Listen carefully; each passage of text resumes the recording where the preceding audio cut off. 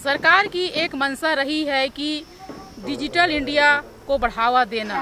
राजनांदगांव जिला के हम ऐसे आठ से दस गाँव आपको ले चलते हैं, जहाँ पर लगातार बिजली नहीं होती है। साथ में इंटरनेट कनेक्ट नहीं होता है और बैंक की भी सुविधा नहीं है। आठ से दस किलोमीटर दूरी पर एटीएम के लिए लोगों को जाना पड़ता है। जिनके पास में एटीएम की सुविधा है, उनको एटीएम चलाना भी नहीं आता है। खास तौर पे महिलाओं के पास एटीएम है, लेकिन उनका एटीएम का उपयोग उनके पति या भाई करते हैं। मैं अपने बारे में एक छोटा सा उदाहरण आप लोगों के बीच में बताना चाहती हूँ। बैंक से एक फ़ोन आया और उन्होंने कहा कि आपका एटीएम को रिन्यू करना है। तो हमने अपना पिन कोड बता दिए, जिसके कारण हमारे बैंक से दस हज़ार रुपये गायब हो गया। मेरे जैसे पढ़े लिखे महिलाओं के साथ में इस तरह से घटना धोखाधड़ी हो चुका है। और इसी तरह से रिज़र्व बैंक ऑफ़ इंडिया के आंकड़ों के अनुसार 2017-18 में पूरे देश में ऑनलाइन फ्रॉड के वजह से लोगों को तीस हज़ार करोड़ का नुकसान हुआ है। मेरा नाम मनीषा यादव है। धमनसरा गाँव में रहती हूँ और सुरगी में मेरा छत्तीसगढ़ राज्य ग्रामीण बैंक का कियोस्क है।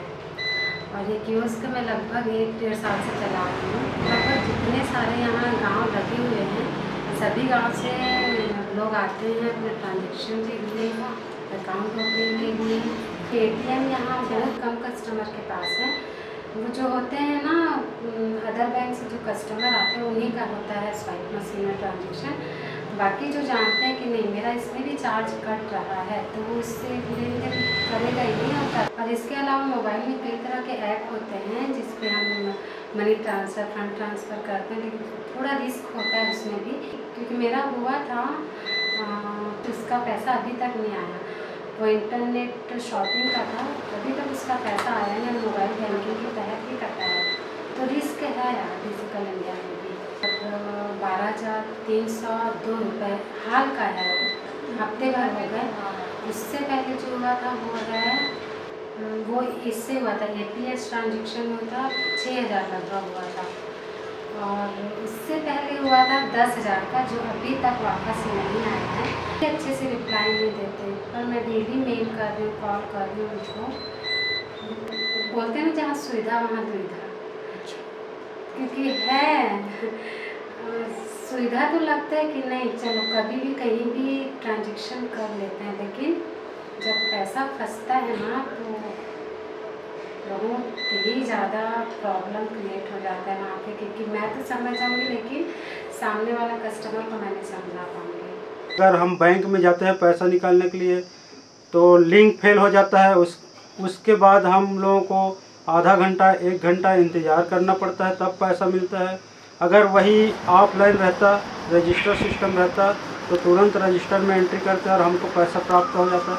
तो कहीं कहीं ये डिजिटल इंडिया है, वो असुविधा के कारण ये धीमा गति से चल रहा है और इसमें यही इनका प्रमुख दोष है। डिजिटल इंडिया को आगे बढ़ाने के लिए सरकार को चाहिए कि गाँव के युवाओं को प्रशिक्षण दे और गाँव में टावर की सुविधा